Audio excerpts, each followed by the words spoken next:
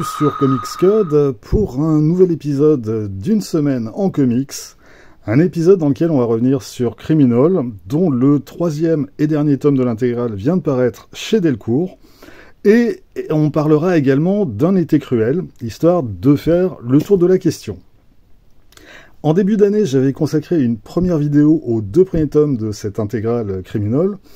Cette fois, le troisième et dernier est sorti, et il reprend à son sommaire le septième volume de la série, ainsi que deux récits qui sont un petit peu à part. Mes héros ont toujours été des junkies, et c'est le week-end. Alors, on va commencer tout de suite par le sujet qui fâche, enfin, qui en fâche certains, c'est le dos de, de ce troisième tome.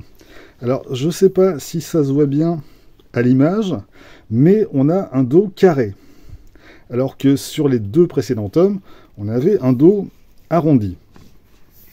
Si je mets comme ça, ou est-ce que ça se voit? On va dire que oui. Eh ben ouais, chez Delcourt, ils se sont plantés. Alors j'ai vu que hum, Thierry Mornay s'en est excusé sur les réseaux sociaux. Bon, euh, perso, j'avoue que dos rond ou dos carré, je m'en fous un petit peu. Je trouve juste ça assez couillon, effectivement, comme, euh, comme erreur de fabrication. Mais voilà, quoi. Après, si vraiment c'est quelque chose qui vous pose problème, bah, la seule solution, ça va être d'attendre que cette première édition soit épuisée pour vous procurer la suivante, où là, le, le, problème devrait être euh, réglé. Mais euh, bah, on va plutôt s'intéresser au contenu, puisque comme dit le proverbe, qu'importe le flacon pourvu qu'on ait l'ivresse. Et, euh, bah, criminal, ça reste du whisky 18 ans d'âge, mais à consommer sans modération.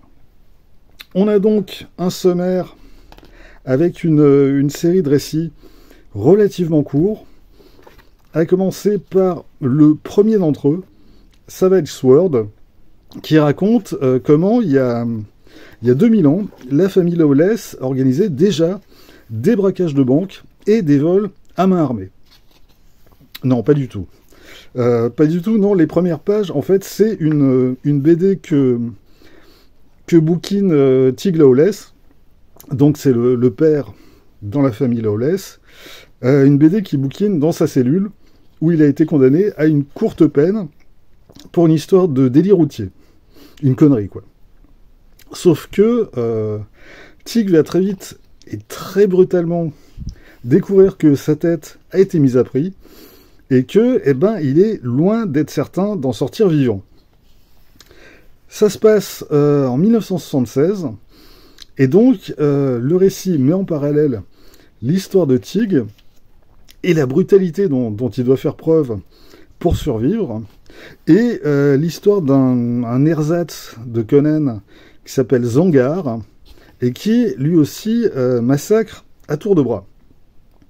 Et Brubaker fait un, parallèle assez net entre ces deux univers. Que ce soit dans le monde de, Zangar ou dans celui de Tig, on est dans un univers de barbares. Alors, comme entrée en matière, j'avoue, c'est loin d'être mon récit préféré.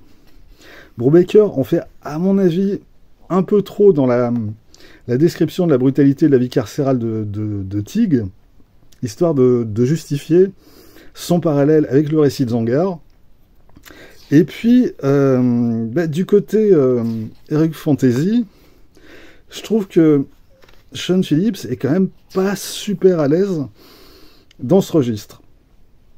Donc, euh, premier récit, pas mal, mais sans plus.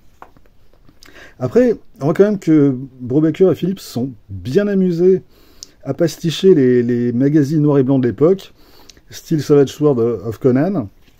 À la fois, eh ben, on a la couverture, on a la table des matières qui est assez, euh, assez typique de ce genre de magazine.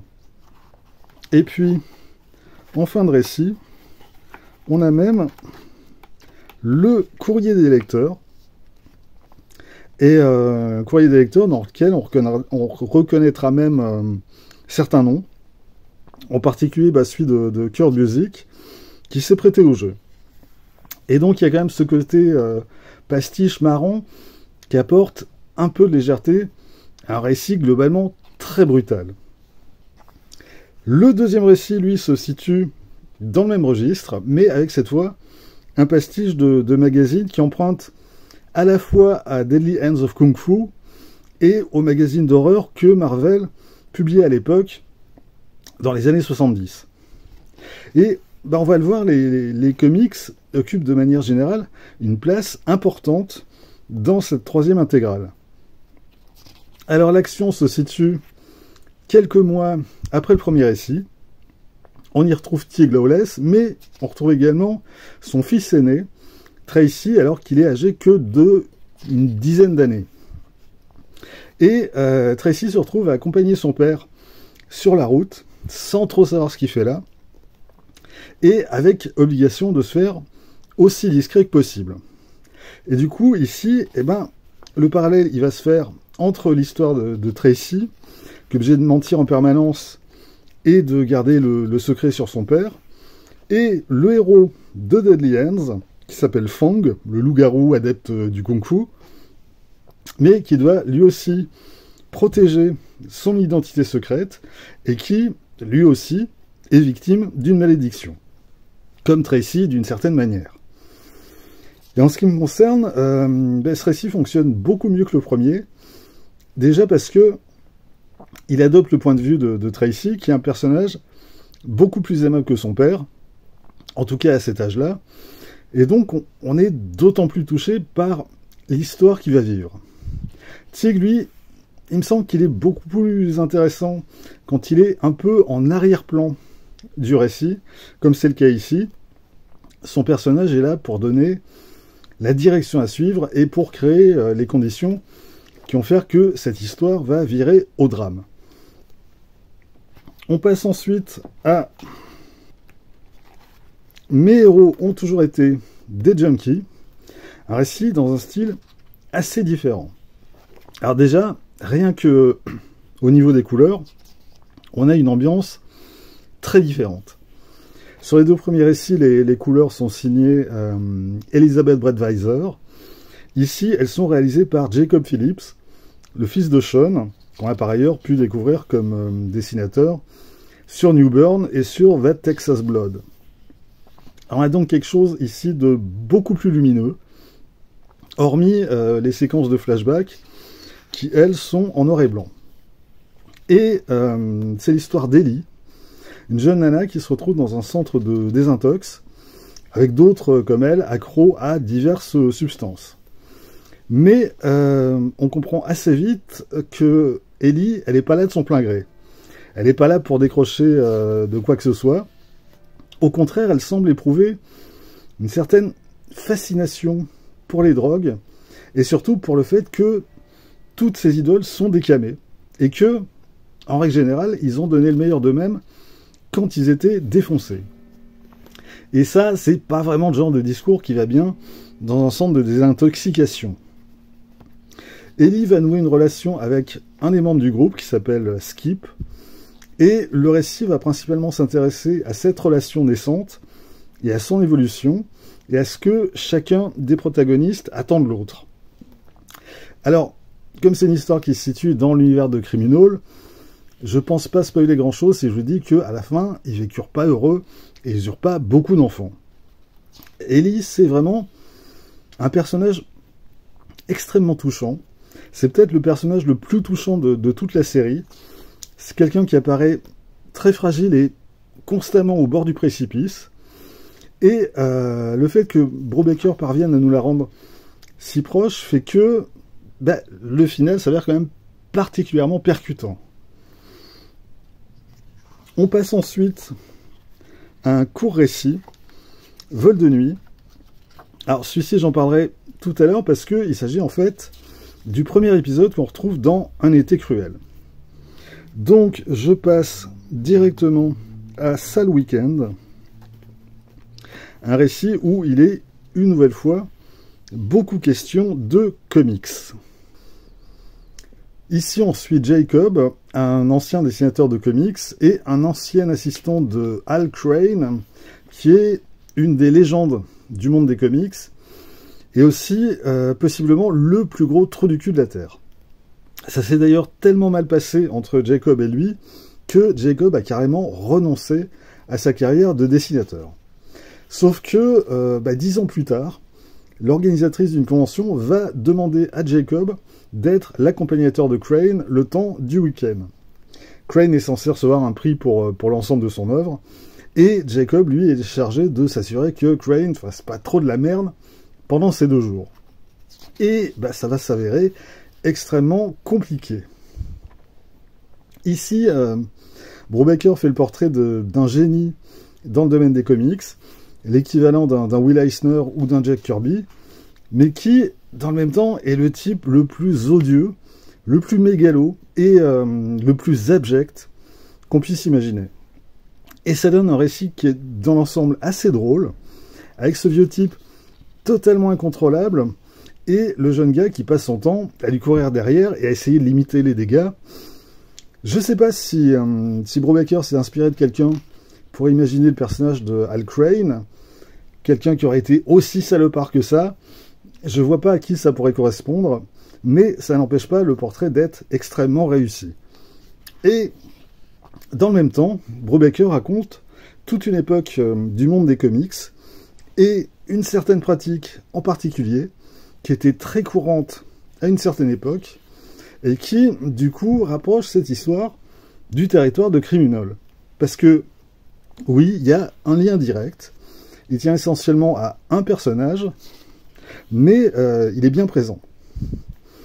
Donc, ça donne une très bonne histoire, avec une chute qui fonctionne à merveille que j'avais pas du tout vu venir.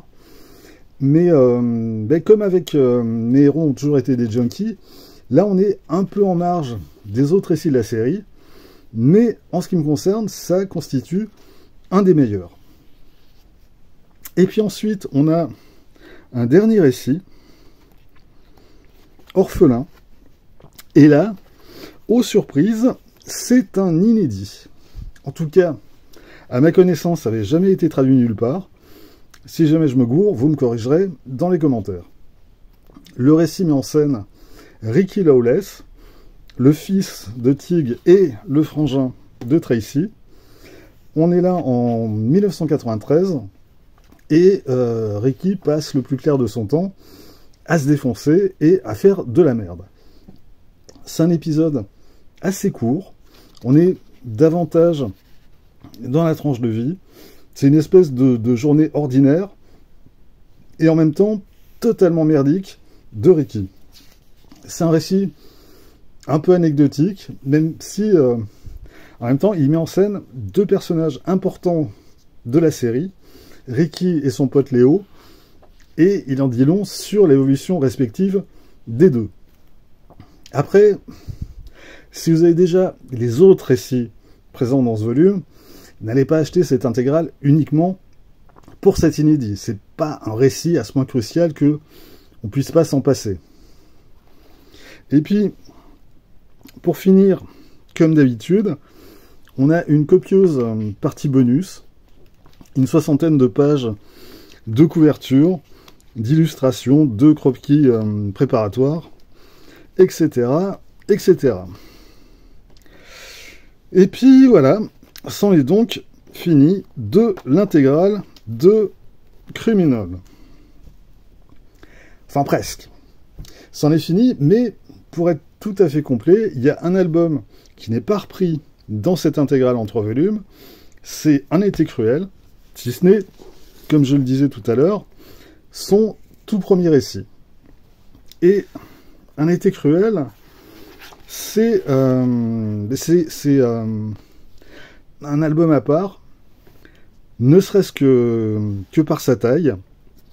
On doit tourner autour des 270 pages. Mais euh, c'est une histoire essentielle dans l'univers de Criminal. C'est la dernière histoire de Tig Lawless. Alors, je spoil pas grand chose, c'est annoncé dès la fin du premier épisode. On sait que Tig va tomber amoureux et qu'il va finir avec la cervelle répandue sur un mur. Et Un été cruel raconte donc les dernières semaines de la vie de Tig en 1988, et elle suit en parallèle le parcours de son plus jeune fils, Ricky donc, dont on sait que bah, lui aussi va mal tourner. Je vais pas en dire beaucoup plus. Un été cruel, c'est euh, une tragédie dans la plus grande tradition du genre. On sait d'emblée que tout ça va très mal finir, mais on découvre que progressivement le pourquoi et le comment. Ed Brubaker agence les pièces du puzzle l'une après l'autre, méthodiquement, et euh, c'est remarquablement bien construit. C'est euh, la quintessence du noir dans ce qu'il a de plus brutal. Et c'est absolument tragique. Et donc, eh ben, c'est à lire absolument. Voilà, c'est tout pour aujourd'hui.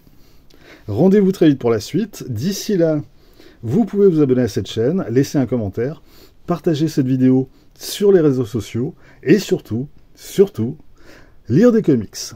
Soyez sages et à bientôt.